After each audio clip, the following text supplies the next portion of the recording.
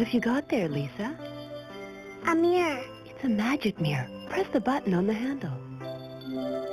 You look splendid today. Beauty and the Beast. Press again. Show me the Beast. That's Belle. Introducing Disney's Beauty and the Beast Magic Talking Mirror. Each of these favorite characters appear only one at a time. What does the beast say, Lisa? I love you. Batteries included.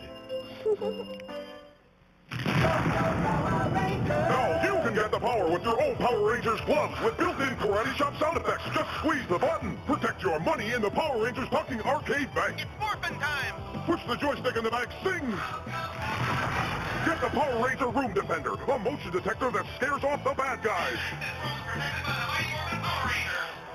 Thus saving the world. Saban's Mighty Morphin Power Rangers gloves, Talking Arcade Bank, and Room Defender sold separately from Happiness Express.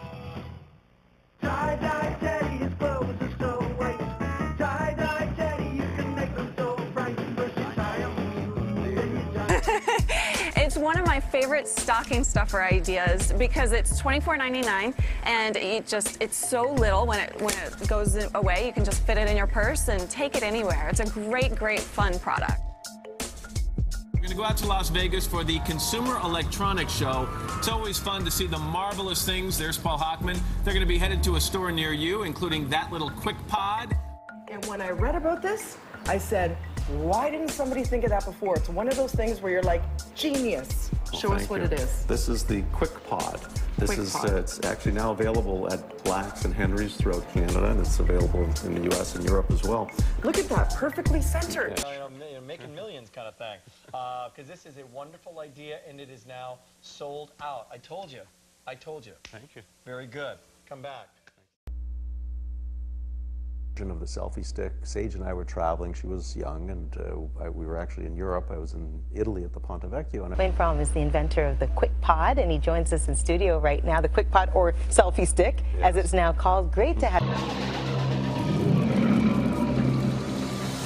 You. In season seven, serial inventor Wayne Fromm and his daughter Sage hope to snap up a deal with the Quik Pod.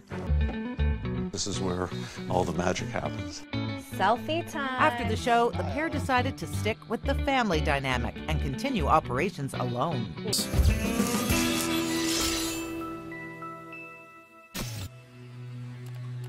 We begin our first of three amazing stories with the cautionary tale of a single dad who loves to take photos. Along the way, he invents the selfie stick. And welcome back. Wayne Fromm is an inventor. He's created many things in his career, but probably none is more popular than the selfie stick. And Wayne joins us now. So interesting. Our next guest. All